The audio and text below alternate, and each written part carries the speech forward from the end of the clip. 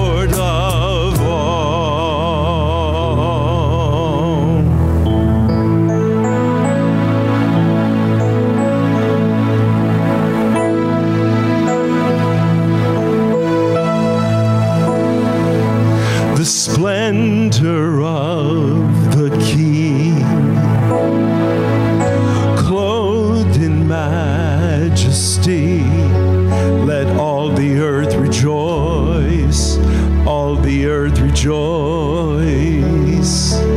He wraps himself in light and darkness tries to hide and trembles at his voice, trembles at his voice. How great, let's sing it out, is our God. Sing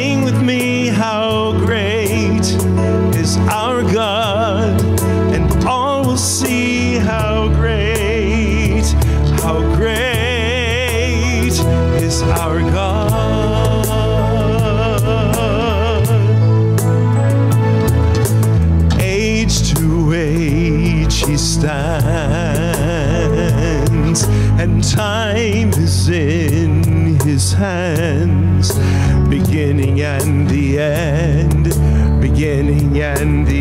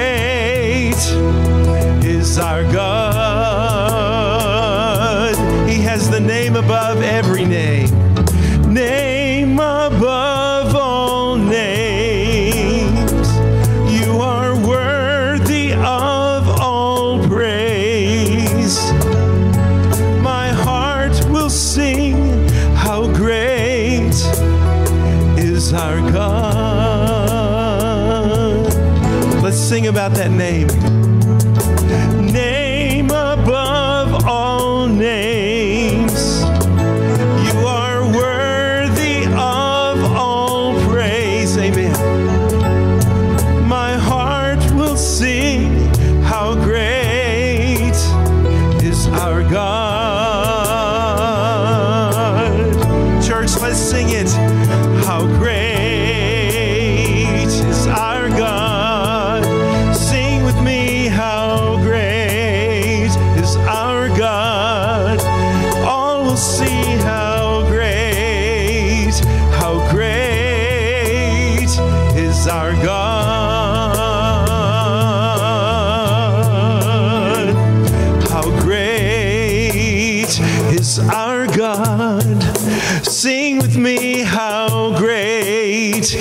great is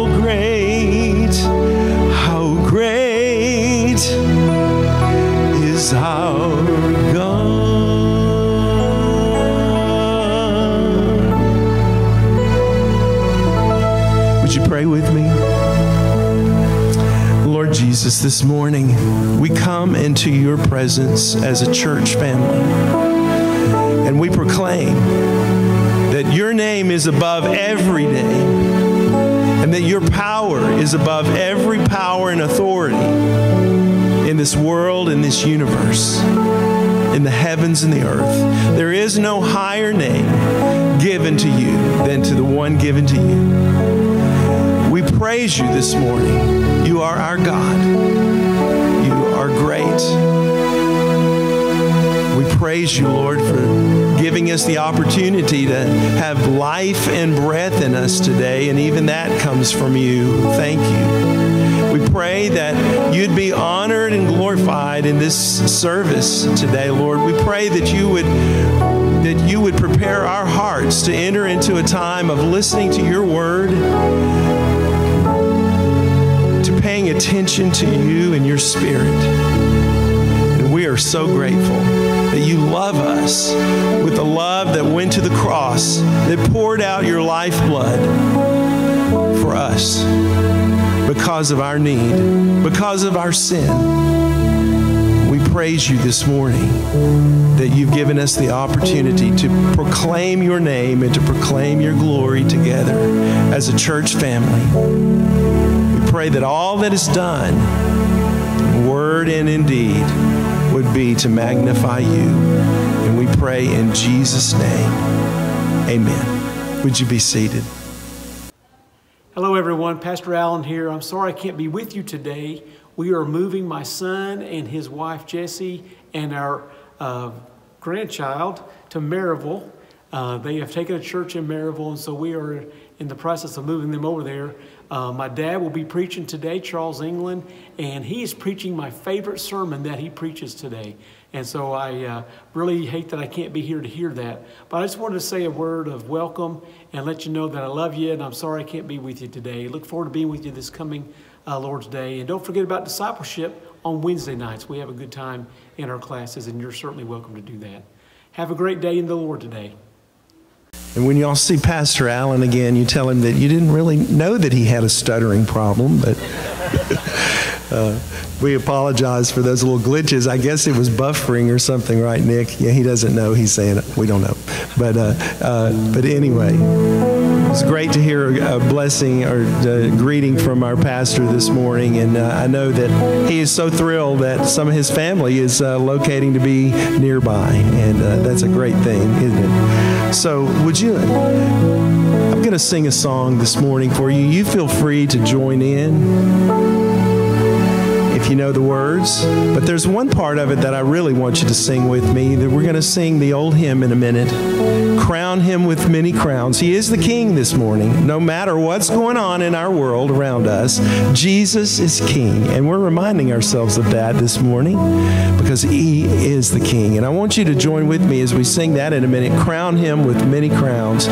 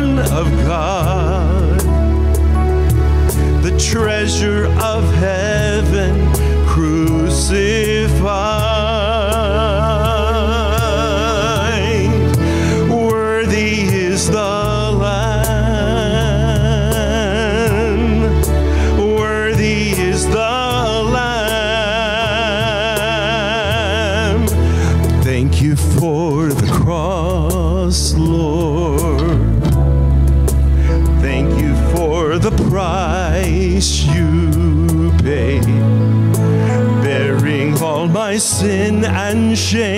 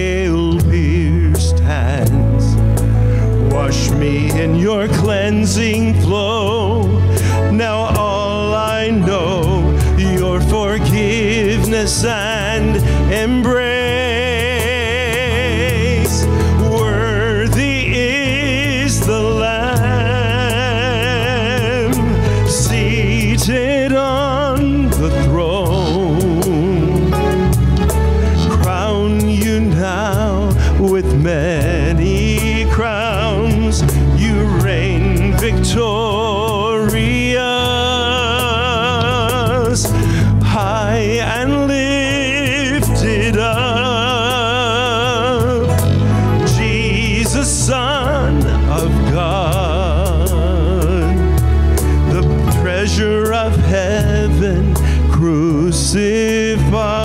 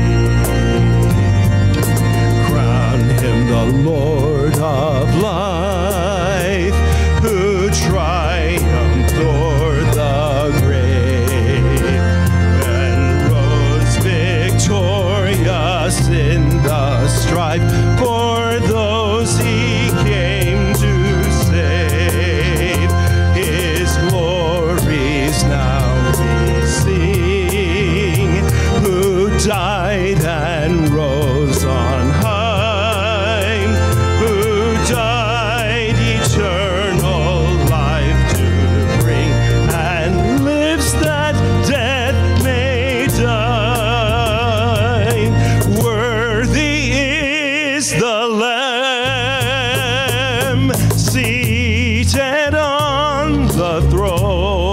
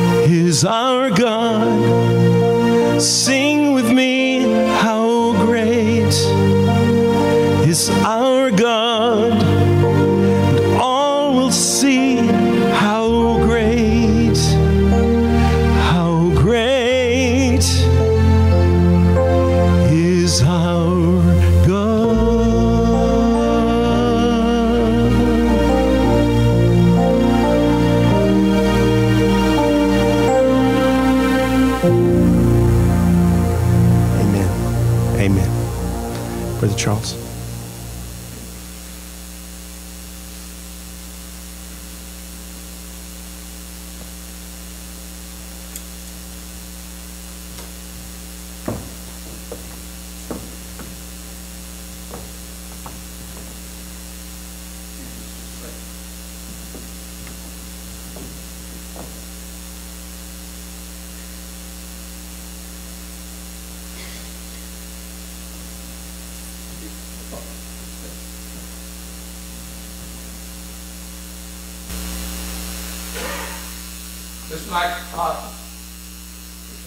He said, "Because this is not going to work for us this morning. Okay, I apologize, but uh, we just have some malfunction, a little ignorance on my part, And uh, that, this is not going to work.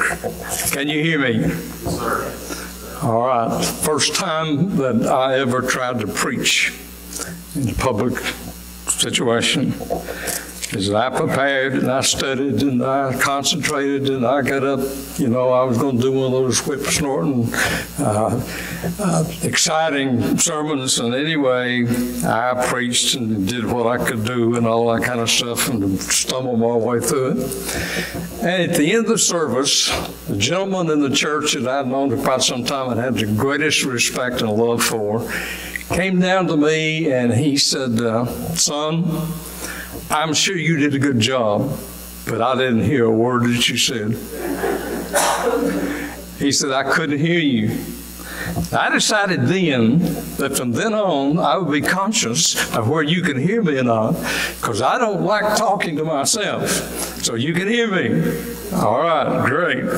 Uh, I want you to turn with me, if you would, over in the section, the book in the Bible, which your pastor preached last Sunday morning. Anybody remember?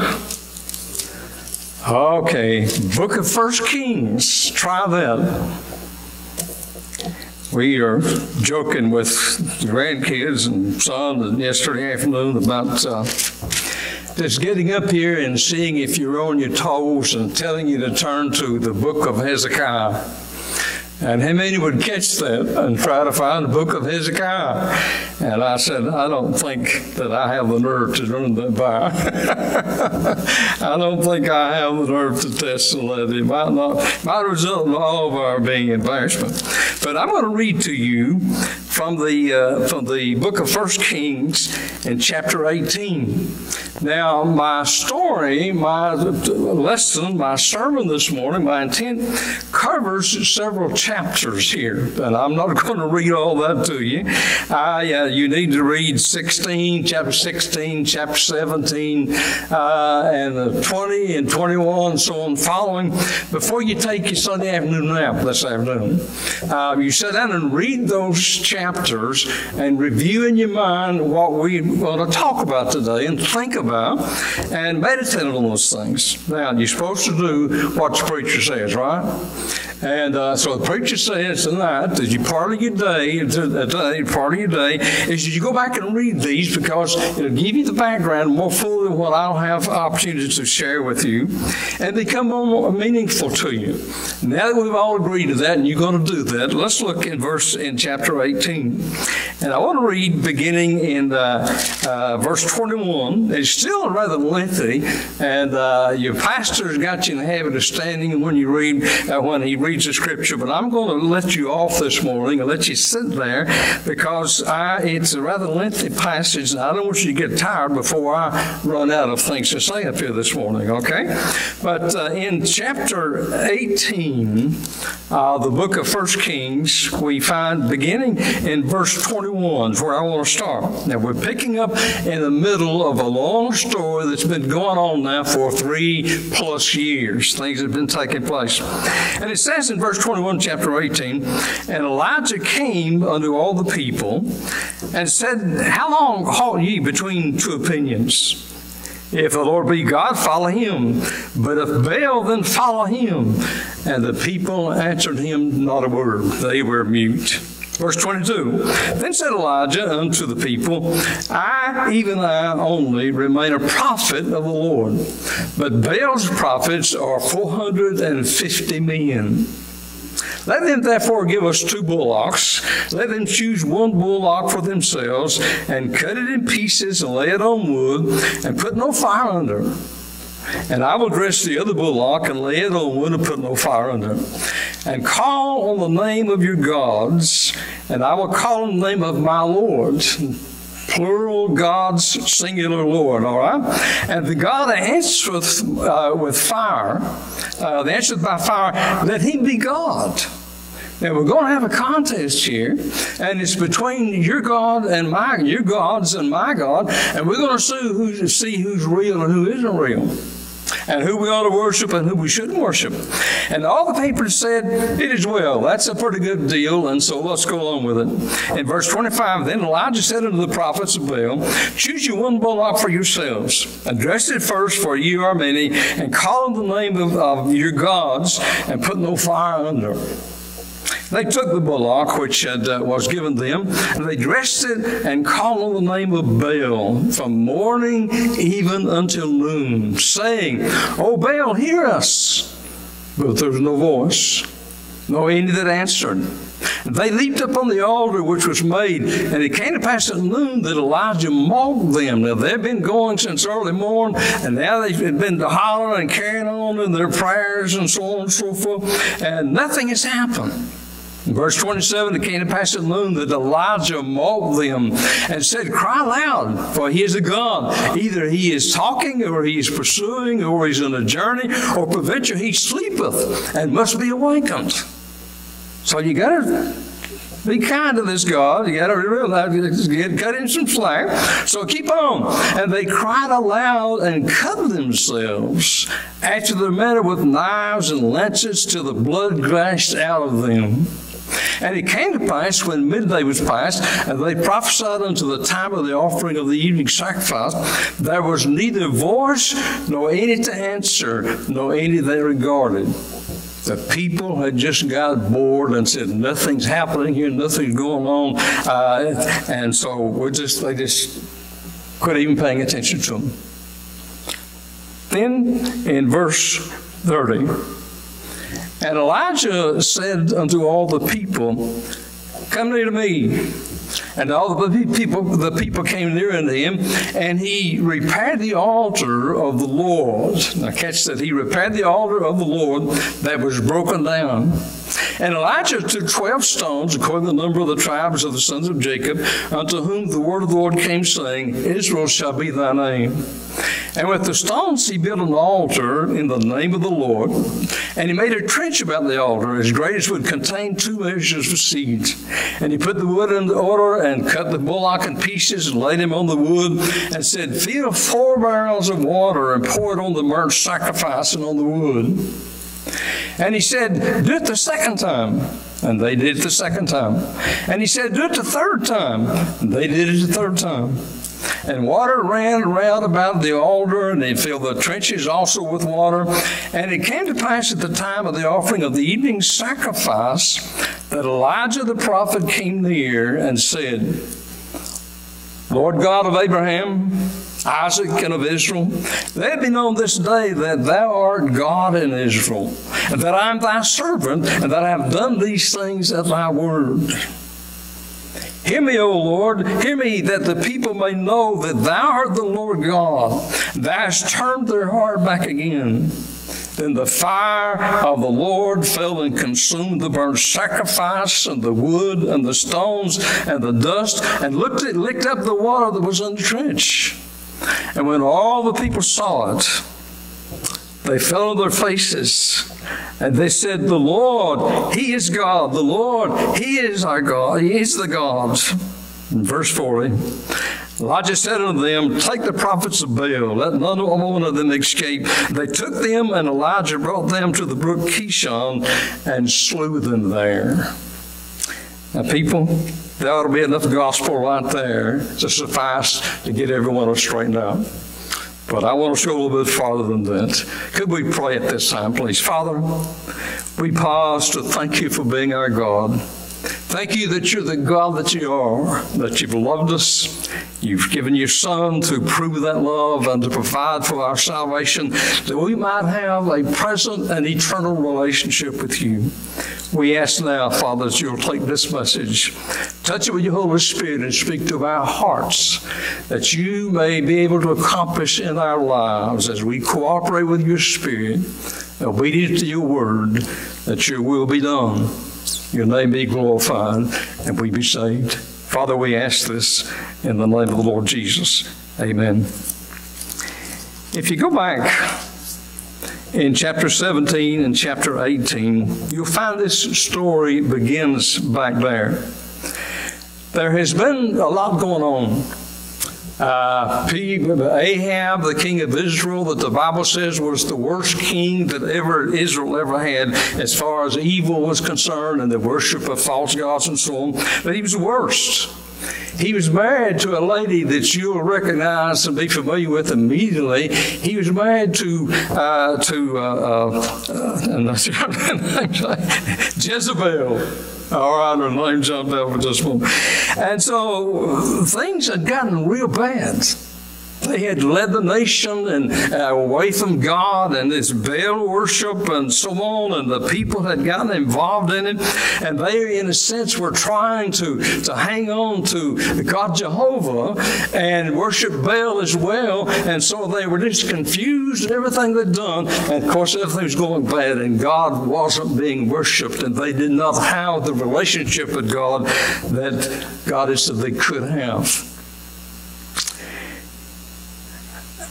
I was reading a magazine, paper, or something sometime back, and uh, really several years when I was uh, pastoring in the state of Indiana. And they, they had something in there, I don't remember exactly what the article was, but the state was giving uh, information as to the possessions of the state, the things that they had, and they supervised and so on and so forth, the state government. And they put in there that the state of Ohio, uh, state of, uh, of uh, Indiana, rather, owned so many bridges. bridges. Now, I don't recall the number, but we'll say 100 bridges. And it said that they owned, possessed, and cared for 100 bridges and a half. Uh, that caught my attention. I don't think of bridges in the form of half. When I think of a bridge being halfway, I think of the word splash. I mean, you go this way, it's so far, and that's all of it. What if your mate told you today that she or he halfway loved you? Uh, what if you somebody got in a fight and they just halfway fought? Well, we've seen some of that with our country in the last number of years, haven't we? Where we've got in things without thinking and without committing to it, got in skirmishes, and we couldn't get out of them because we couldn't decide we wanted to fight. So I mean, it was a problem. You, there's some things that just don't work halfway. God is saying to Israel that this halfway stuff just doesn't work. They were trying to hold on to God and they were trying to try, trying out all this new stuff. Now, the background is, I'm sure that you know if you're familiar with scriptures at all. We could take it in one verse that we've heard quoted a number of times in the last few months in this political uh, upheaval that we've experienced. And it said that if times get to the point where they're not right, if uh, heavens are shut up or uh, things happen and you can't experience the blessings of God, that things are just not right, then if you will repent of your sins, turn away from them and come back to God, that He will forgive the sins and He will bless the land and restore the right relationship and the right blessings to them. Now, what I want you to know is that when He sent the children of Israel over in the promised land, He gave them certain promises there, this one being included. And he gave them certain promises, and he said, if you go over there and you do what I tell you to do, I will do thus and so. But there's a part that we sometimes leave off. We stop right there. But he goes on and says, But if you don't do what I tell you to do, and you turn away to other gods and do so and so, not only will I stop blessing you, but I will be a curse to you. Now, friend, what I'm saying to you is God's promises have conditions. When God says, I will, if you keep you into the bargain. And he's called these people here. Ahab and Jezebel has led this country in such a horrible mess. Until God speaks to Elijah and he says, You go down and you tell Ahab that it's not going to rain anymore. You remember the old song, ain't to rain no more? Well, Elijah said, it will only rain again by my word. And people, it didn't rain for three years. Now, you think what might happen here in our country if it didn't rain for three years? I mean, things got drastic. Ahab was sending people all over the country trying to find some water somewhere to at least keep some of the animals alive. Things were in bad straits. God then, after three years, and they've been searching for Elijah to try to find him, but God had him up in the mountains, taking care of him and, and, and getting him ready for this. And they looked everywhere. And so uh, Elijah says to one of the, one of the, a believer in God, and uh, who was close to Ahab as well, said, You go down and tell Ahab to meet me in a certain place. And it's, interesting and, and, and, not only but, but laughable uh, that he says, You're going to send me down there? What have I done that I would be killed? Because as soon as I go down there and tell Ahab, You're going to be caught away by the Spirit of God, taken someplace else, because he looked everywhere for him and nobody knew where he was. He said, You'll take off, and Ahab will kill me. Why should I die? I haven't done anything. I've been faithful to God. I've tried to do everything. And Ahab, Elijah says, You go on and do what I tell you to do. And so he goes down and he tells Ahab, Elijah said to meet you in a certain place. They meet. And then we see what the, the, the, what the agreement is made. He says, You get all the prophets of Baal Meet me up at a certain place, and I will be there, and let's see who's God. Because he had to move because only by Elijah would rain come. It's been three years and he's got his attention. Friend, don't you ever forget when God decides to get your attention, he knows how to do it. So he got the whole country's attention. And so they meet up there. And you see that he said in Scripture, I read to you that uh, Elijah said to Ahab, said, you take all the, the, the prophets of Baal, they got 450 prophets and one lone little Baptist preacher over here. And he's saying, you prepare this altar and put the bull up there and call on your God and let him come down and consume the fire. And then I'll do that, and let's see who is God, who isn't. And the people said, Well, that's a pretty good deal. We don't know how sincere they were. Maybe they just wanted to see a show. I don't know. I don't know. But they did it. And these prophets of Baal stood up there and they yelled and they hollered. They went through all the, the shenanigans that they do and so on and so forth. Nothing happened. They keep dancing and hollering, even cut themselves and trying to get the attention of their God and, and carry on, and nothing happened. And it went on till it got so boring that even the people quit looking and they just stopped and walked away from them. And then Elijah puts the altar around. They give up. Elijah says, Let me try. And he puts the altar up there and he puts has them to put all the, the, the stones around it and pour all that wonder the water on it and drench it and so on and so forth. And he makes a simple prayer. He says, God, that these people may know that you are the one true God of Israel and that you want to turn their hearts back to you and away from this evil worship and so on would you respond? And the Bible says that the fire came down from God out of heaven.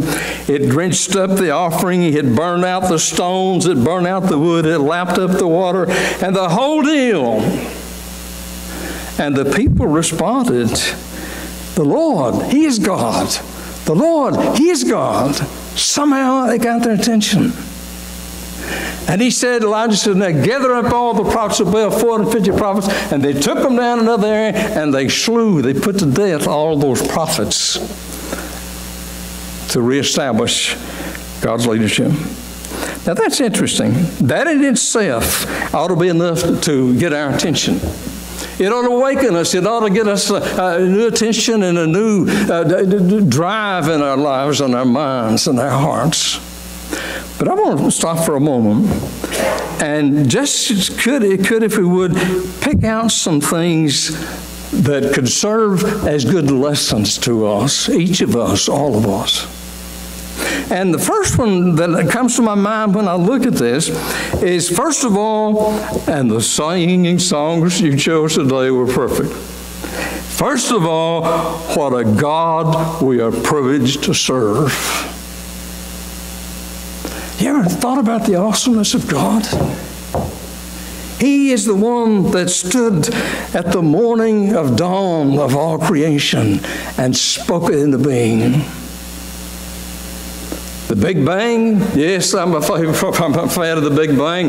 God spoke it and bang, it was there. Created the universe, the world, the earth, all the animals, all the people, and so on. And He holds it in the palm of His hands and of which he will fold up again at the appropriate time. This God who is sovereign, this God who is the Lord God Jehovah, is a supernatural. He is a sovereign creator. He is sustainer of all that there is. And He is the Savior through His love and the sacrifice His Son to all that will receive the love. I don't know, maybe I'm a little bit weird, but the older I get, the more I'm impressed with creation. Seriously. The things that we're seeing out in space, the things that are happening, and it impresses me just how intelligent God is. I was, and even in small, small things, and I'll, I'll share this with you. This past week, I was out Tony's house. And we're doing something, I remember what it was, and I'm standing there by a banister, and I look down, and there's a little bitty small bug. It wasn't an eighth of an inch long, big. And I looked a bit closer as it scampering around down there, and it had a beautiful orange. And I'm a Kentucky fan, but this orange was pretty. It, it, was a beautiful orange, but it had designs on the orange, on the over the orange paint, to where it was a beautiful portrait. Nobody ever painted a picture or anywhere that was any prettier and more shaped and designed and a, a result of an intelligent creation than the one who made that little bug. So we're talking about the God who is sovereign the God who created us and holds us in the palm of his hand. And our destiny is dependent on him. This God, He is sovereign. He is worthy of worship. He is certainly worthy of obedience. And how opposed to the evil of religions when I see these things, I think about our God, His loving, His kindness, and I see what the God of Baal was doing in these lives of these people. They, they sacrificed their own children to the God of Baal. About every false religion that existed in those days, there was some type of, of sexual activity involved in the worship of it. And on and on we can say and compare this God that we have, the God and Father of the Lord Jesus Christ. Uh, we're privileged. We really are. Brother mine speaking told me about this. He was speaking to an individual who uh, was a medical doctor and had spent his life on the mission field in foreign, in foreign lands. And he had retired. He'd gotten old where he was forced into retirement. And uh, he would, they, they, joined the church in there, and this is where my friend was. And they were just talking, and the guy was talking to him, but telling about his mission experiences at this guy's request and so on. And he told about the things he did in the time and so on and so forth. And my friend responded, Man, that was a great sacrifice. And he said, The old tired missionary said, Friend, that was no sacrifice, that was a privilege. My friend, the privilege we have to serve the God that we have. Second thing that I want to notice on there, look at this, from this lesson, is that wrong leaders are always a death knell in every situation. Now, hear me again. Wrong leaders are a death knell in every situation, especially in politics and spiritual matters. Now, people, there's all kinds of people who have leadership ability. Uh, Hitler was a leader. He was a genius at it. Look what he did. He turned a nation just a couple of years from being a democratic operation to being a total tyrant control and put the whole world in a, in a war and destroyed thousands upon thousands. He was a leader, and you can't doubt that. You can't question it.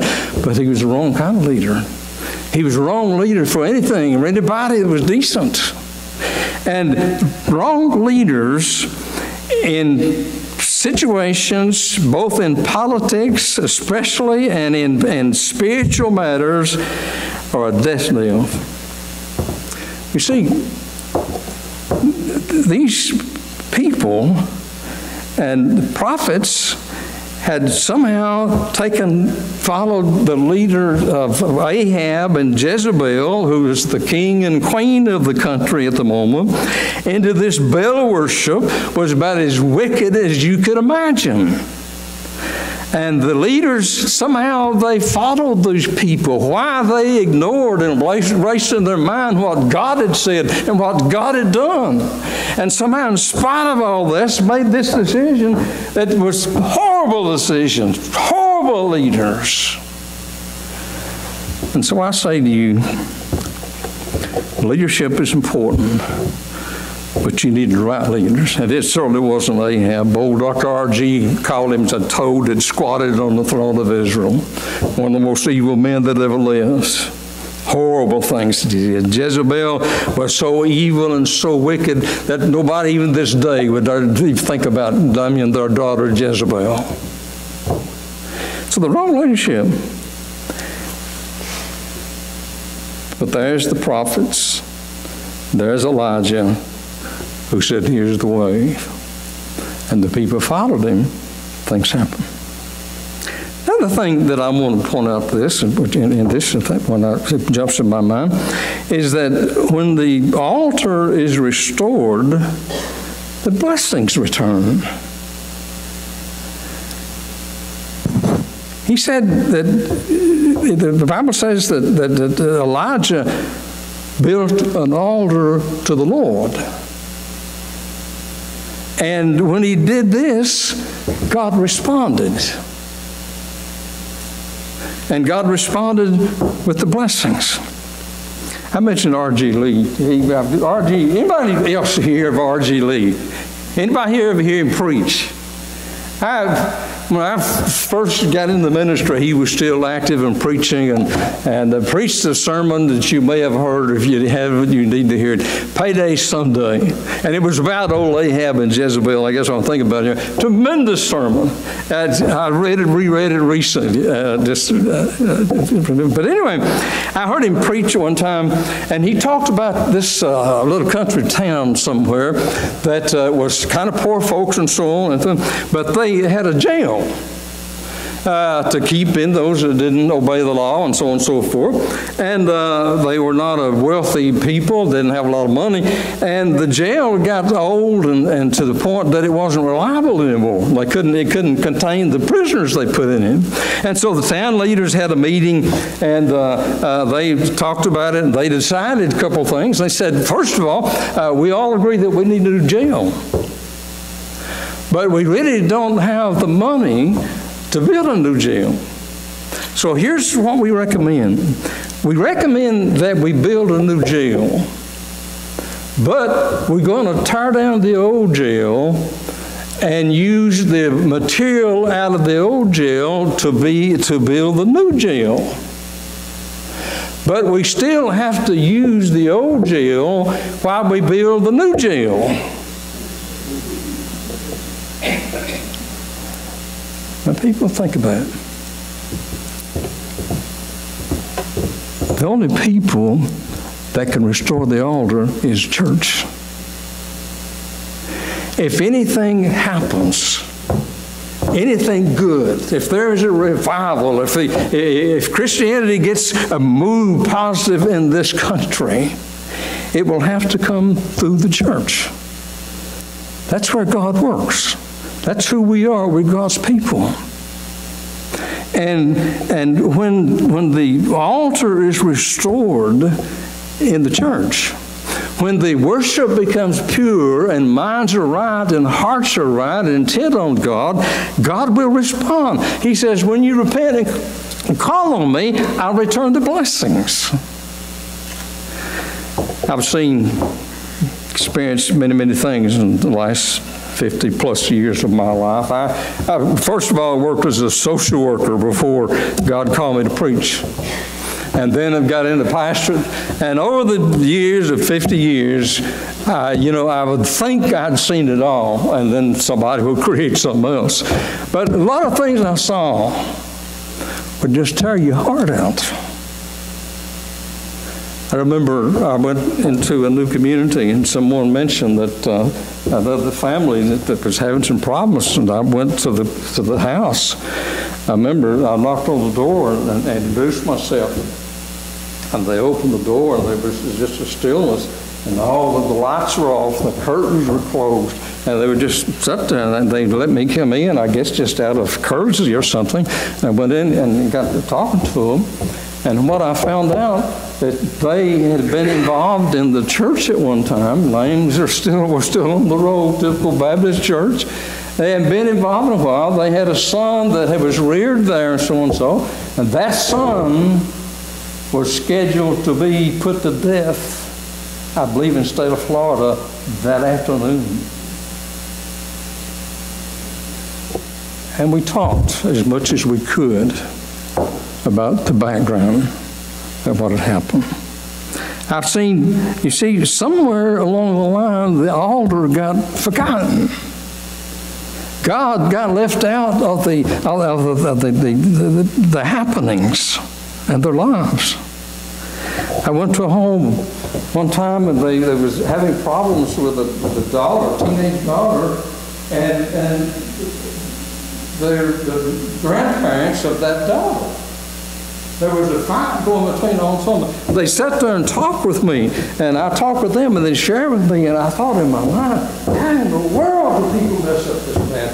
They were involved in church at one time. And I sat there and I struggled my mind, what in, how in the world did this happen? And I sat there and I really thought in my mind, what in the world can I tell these people? How can I help these people? And it was almost as if God punched me on the shoulder and said, Charles, tell them about me. And I came to my senses somehow or another and did what I came there for, and I talked with them about Christ and how if they would reestablish God's place in their home, in their family, in their life, they would then have the wisdom and the influence of God to help them make decisions, know what to do, how to handle it, and also influence all those involved. It was their only hope. And I say this to you, my friend. God has promised His presence. He has promised his help. And God don't lie. May not be good grammar, but it's gospel.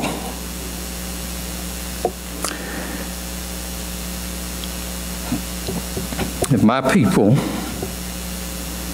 will humble themselves in terms of their wickedness and seek my face, then I will hear from heaven I will heal their land, restore the blessings when the altar is restored. My friend, I want to say this to you at this moment. I could, I like to, but I can't, I won't get political. But I'm going to tell you something. If your country ever needs your prayers, it needs it now. If you ever needed to pray for your country, you need to do it now. And you better get serious and earnest, pointed, and committed to it.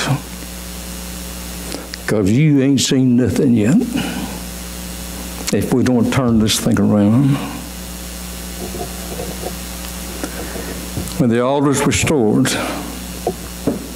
I remember times back when the nation, our country was respected so in the world, and somebody came to America, I think from someplace or another, I don't know, remember the details, but share this for what it may be worth.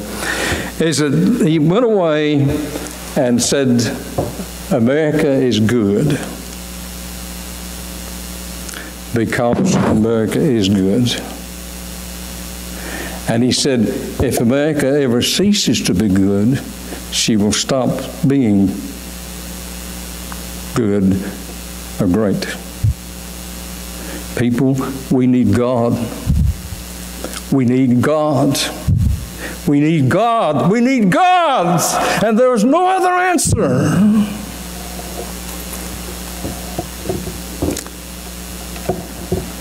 Another thing I'll have to hasten on. I can go a couple more hours on this, folks. But I want you to know something else too that God and one person always constitute a majority. Elijah's here by himself. He's the only believer there. They got 450 prophets of Baal that are there and, and all these other people. Uh,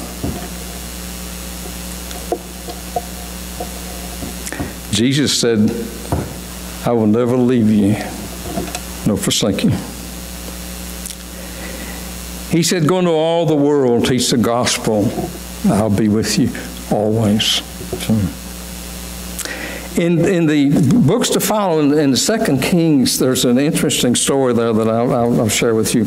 It's in, in chapter 6, verse 17, somewhere in there. And uh, the, the, Elisha, the uh, Elisha, the prophet that follows, succeeds uh, Elijah, uh, the king has, wants to confront him about something, I don't know exactly what it was now, but he sent the army out for Elisha to come in. When he sent an invitation, and, and Elisha wouldn't go. He ignored the king. And so the king sent this great army out, whole big army, soldiers, and all that kind of stuff, you know. And the, the servant, the work guy that assisted Elisha, got up that morning and come out, and look, and all this army, the king's whole army was spread all around. And it scared him to death, I understand. And he to Elisha, or father, or whatever name you referred to him, said, Look at all this. Look what's, what's going to happen to us. We're going to be killed, Paul. And Elisha said, God, would you open this young man's eyes so he can see rightly? And God opened his eyes, and the young man could see on all the hills all around angels of God in harmony, ready to step in any time God was ready. You see, friend, we're not in this thing by ourselves. We definitely are in it with our brothers and sisters in Christ, but we're in this thing with the eternal God. Then, make it short. Another thing I want to say that there really is fun in serving the Lord. Now, we think, oh, dried up Christians and boring meetings and so on and so forth, and going out and talking to people. But it really is fun. You can, Elijah shows you that here. Verse 37, he says that the, the, the writer says that they had done all these things, the prophets of Baal had, nothing had happened. And Elijah, let me back up and read it to you. And it came to pass at noon that Elijah mocked them and said, Cry aloud, he is a God. Either he's talking to somebody else, or he's pursuing something else, or he's on a journey, or he may even be asleep, and you need to wake him up. Elijah's having a ball ridiculing, making fun, and pointing out the, the, the, the, silliness, the stupidity of this God of Baal, worshiping a God of that nature. It really is fun. Maybe we need in our society to re or to define fun. I'm not talking about fun, hee hee ha ha, live it up, and so on and so forth. I'm talking about a life that has a contented heart, contented spirit, the presence of God, peace, and lived in the way God made us to live. Scriptures in the in the Beatitudes called "Blessed is the man who." And what the blessed means, it's the guy with a contented heart. His life is not wrecked, and he's not a nervous wreck. He's not living off of these pills or this booze or these drugs or other thing. He's got a contented heart. I remember people, as I said, I'm probably one of the oldest people in this building today. Maybe the oldest, I don't know. But I've seen a lot of people in my experience who started out as children when I knew them. And they've grown up, and I've watched them grow up. And I've watched them make decisions, and I've watched them get married make decisions, and I've seen them have children, and the children's children. I've seen this, and I've so I've watched generations become this, that, that, over and over. And it's been interesting to me, and I've taken note and watched it, of the, the kind of decisions that those people made in their life and how their life turned out. Let me tell you something, there's a difference.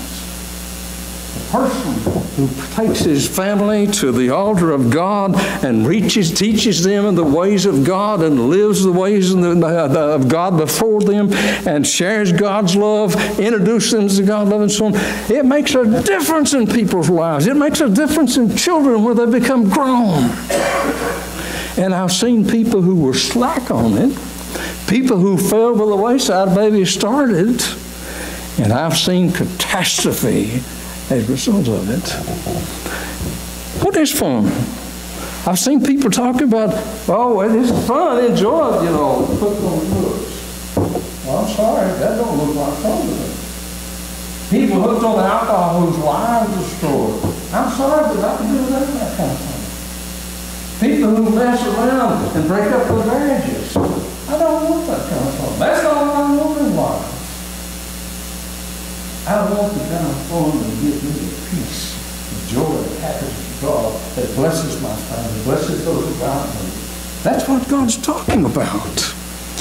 It is fun. It is enjoyable. Some of the greatest blessings in my life has been since I retired. I have just out of the I've gotten letters from people who are now grown that I was their pastor when they were children.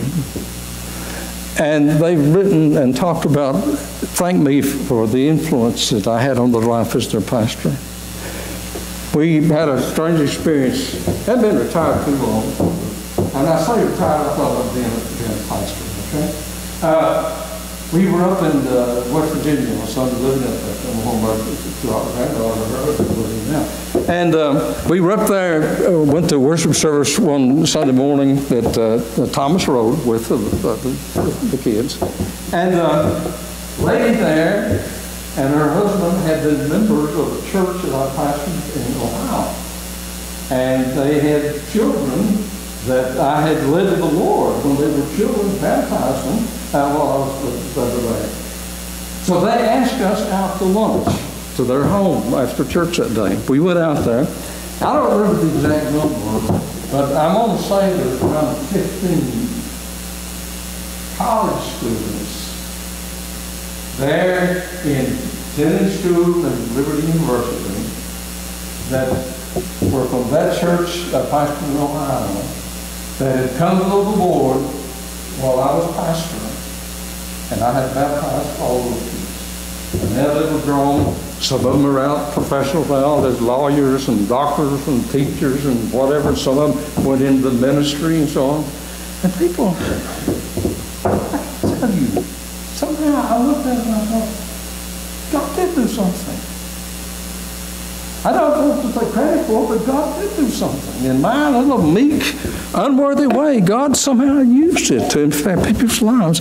And God will use you to impact people's lives. I'm going to close. You're getting sleepy. my main point in this thing is there is some things that halfway won't do it. Now, back to that halfway bridge in Ohio. What it was that they shared the bridge with the state of Indiana. Indiana had built half of it, and they built half of it, and they maintained it, so they had one bridge. So that's okay. That works, you see. But there's some things that just don't work halfway. And God says, commitment to Him won't do it. It has to go all the way. Love has to go all the way. Application, my friend, if you're not a Christian, you're in trouble. You may go to church, you may have your name on the on the church roll, you may have been baptized in many ponds, or the tadpoles know your circuit, but that don't cut it. It takes a personal relationship between you and God. If you don't have that, you need to get saved. I don't care how old you are, I don't care how good you are, how mean you are. If you haven't had that personal relationship with God through Jesus Christ, you need to get saved. That's going all the way with God, receiving Him as Savior and Lord. Application to those who are saved. Bible says in Romans chapter 12 to present ourselves as a living sacrifice. Life to God. That he may shine through us, those can see and believe. But friend, we exist as God's children. If we didn't have an assignment, a task to be done, he'd take us all to heaven right now. But he's saying, get serious about it. Get serious about it. Go all the way. Halfway it. Elijah said, How long halt you people between two? That's indecision stuff. If Baal is Baal, is eh, God, well then get at it. Let's call out the drums and the bugles and let's get going with it. If he isn't, and Jehovah is God, let's get serious about it. Let's bow for prayer. Father, thank you for your word you've revealed, preserved, and given us the privilege of studying this morning. I pray you'll take this and God, let it work in our minds. Don't let the devil take it away from us. Our minds and our hearts till it becomes our lives. I pray for each one here. I pray for your will, your glory. In Jesus' name, amen. We're going to sing uh, an invitational commitment song. And I want you, whatever God is speaking to you about, to respond to that. Will you do that? If you need to come down here and pray, that's fine. If you need somebody to counsel with you, I'm here. There's others can do that. My friend, God is the answer. He's the only answer. My friend, would you lead us, please?